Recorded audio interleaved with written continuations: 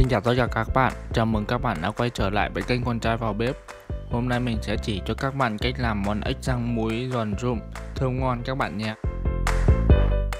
Nguyên liệu của mình bao gồm có ếch, lá lốt, củ sả, ớt, tỏi, lòng đỏ trứng gà, dầu ăn, hạt nêm, hạt tiêu, nước mắm, bột chiên giòn và bột rang muối các bạn nhé. Trước tiên là mình sẽ đi sơ chế nguyên liệu. Lá lốt ở đây mình có chuẩn bị khoảng 7 đến 10 lá, mình sẽ thay khúc ra các bạn nhé. Còn xả ở đây mình có chuẩn bị 3 củ, mình sẽ đập dọc cắt khúc và tước nhỏ các bạn nhé.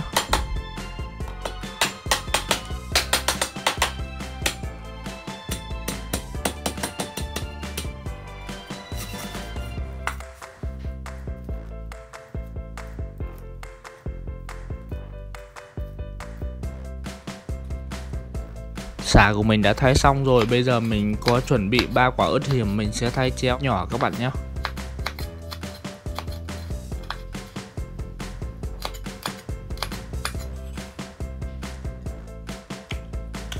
Tất cả nguyên liệu của mình đã sơ chế xong rồi các bạn nhé.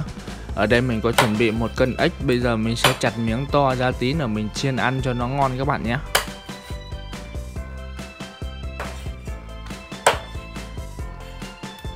Khi mà mình đi chợ ấy, thì mình nhờ bác à, làm thịt ếch ở ngoài chợ bác đã làm sạch các bạn nhé bây giờ mình chỉ về mình à, bóp qua giấm và muối để cho sạch phần à, tanh của ếch thôi.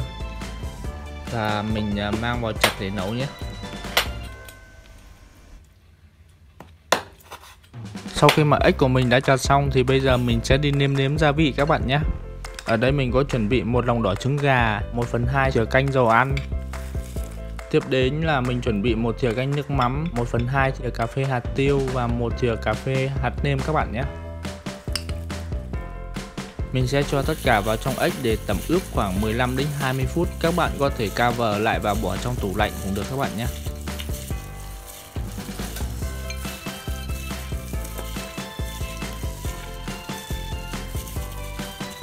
Sau khi mà ếch của mình đã tẩm ướp được khoảng 15 phút rồi thì bây giờ mình sẽ cho bột chiên giòn vào nhé ở đây mình có chuẩn bị hai thìa canh bột chiên giòn, mình sẽ cho vào để phủ một lớp áo bên ngoài của ếch như vậy ếch sẽ được giòn và thơm ngon hơn các bạn nhé.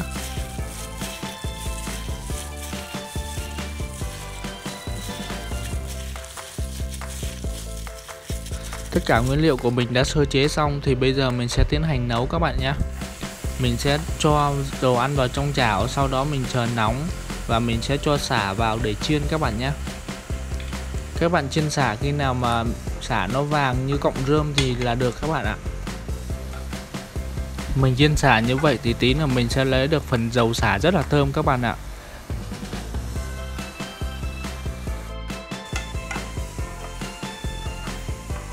Mình sẽ lấy luôn phần dầu này để chiên ếch rất là ngon các bạn ạ còn phần xả mình chân xong thì mình sẽ để làm trang trí nhé.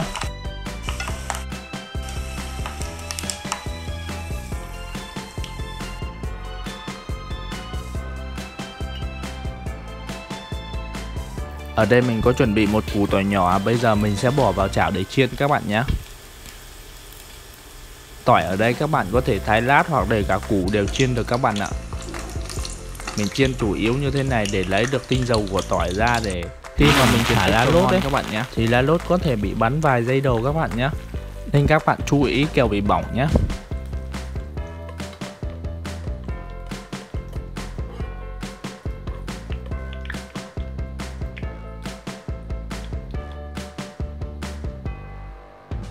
Vậy là mình đã lấy được một chảo dầu rất là thơm rồi các bạn ạ. Bây giờ mình sẽ cho ếch vào để chiên các bạn nhé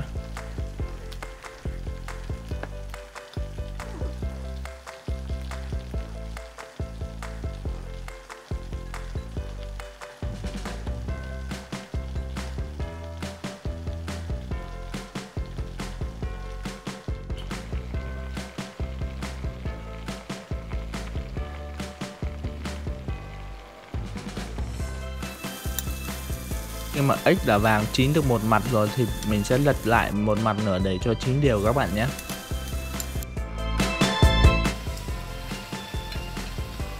Tùy vào sở thích thì các bạn có thể chiên ếch vàng giòn hoặc vàng tới cũng được các bạn nhé.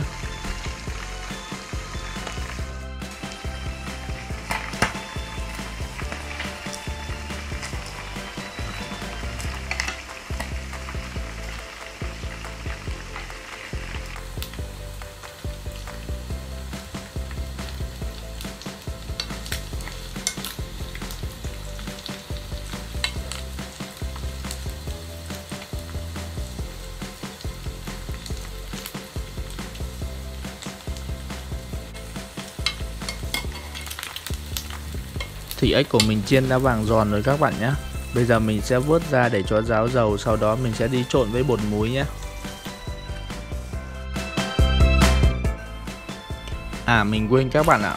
Mình còn phần da ếch, Bây giờ mình sẽ đi chiên nốt phần da ếch các bạn nhé. Phần da ếch mà các bạn chiên vàng giòn lên ăn rất là giòn và ngon các bạn ạ.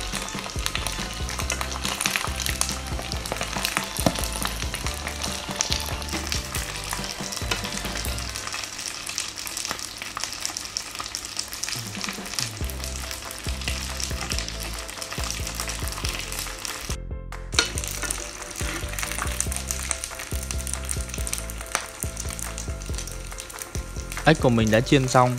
Bây giờ mình sẽ cho vào một cái chảo, sau đó mình sẽ đi trộn muối nhé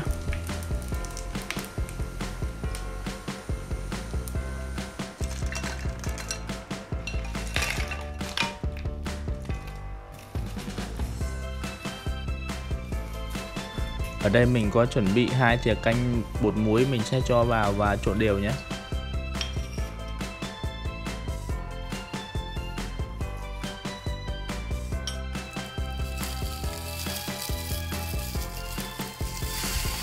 Món ăn của mình thì đã hoàn thành rồi các bạn nhé. Mình cảm quan thì uh, món ếch của mình rất là thơm ngon bột muối rất là đều. Khi mà mình ăn thì vị nó rất là ngon các bạn ạ.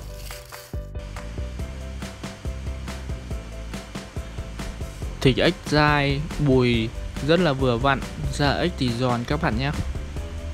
Ăn kèm với vị của lá lốt rất là thơm các bạn ạ. Và có vị cay nhẹ của ớt nhé. Vậy là món ăn của mình đã hoàn thành rồi các bạn nhé. Thì hôm nay cây con trai vào bếp đã chia sẻ cho các bạn cách làm món ếch rang muối thơm ngon. Nếu mà các bạn thấy video của mình hay các bạn nhớ like, đăng ký kênh, chia sẻ Để tiện xem những video tiếp theo của mình nhé. Cảm ơn tất cả các bạn đã xem video. Chúc tất cả các bạn có một ngày mới bên gia đình thật là vui vẻ và hạnh phúc. Bye bye